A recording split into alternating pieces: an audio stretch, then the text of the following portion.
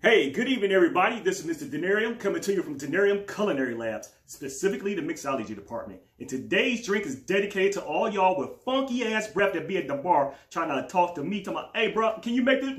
Can you make this for me? If I'm making this face when you talking to me, your breath fucking stinks, okay? Excuse the language, but your breath is atrocious, okay? There's no reason human being's breath should smell like dog shit and zombie vomit mixed together, okay? But I got something for you. It's called Flaming Mouthwash. Check it out. We got our sponsor, Ice from Signal 27. Thank you to the authors and comedians over there. Go ahead and get that in there right quick.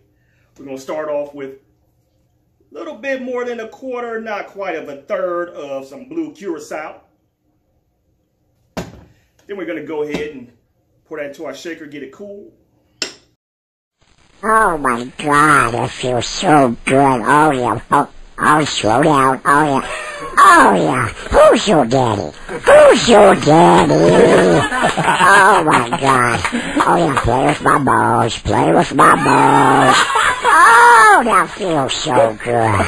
Yeah, just roll them around in a circle. Oh my god, I love it when you. Uh oh, slow down.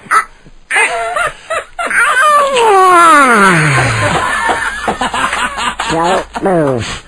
I'll go get you a towel. Hit you with a little bit of creme de menthe because mint always smells good. Once again, about a little bit more than a quarter, not quite a third. For y'all that paid attention to math, you know the in-between area. You sell drugs is not an eighth. Shake it on up. Know that look like scope mouthwash? All right, we're gonna use the same cup. We're gonna get hit, hit it off with the, there we go.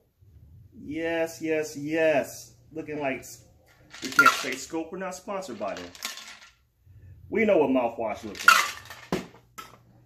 Now this is the part where it's coming in flaming. Not that kind of flame. Waka flocka. So we're gonna take this 153 proof grain alcohol. If you don't have this, it ain't flaming.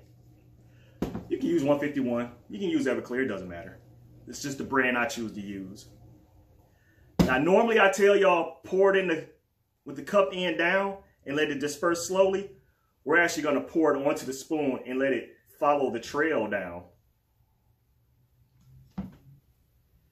Watch the glass and you'll see it slowly fills up. Don't watch me, watch the pour.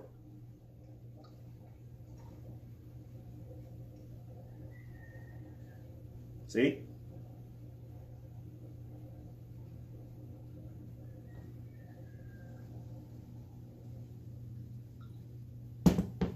Okay, funk mouth, here you go.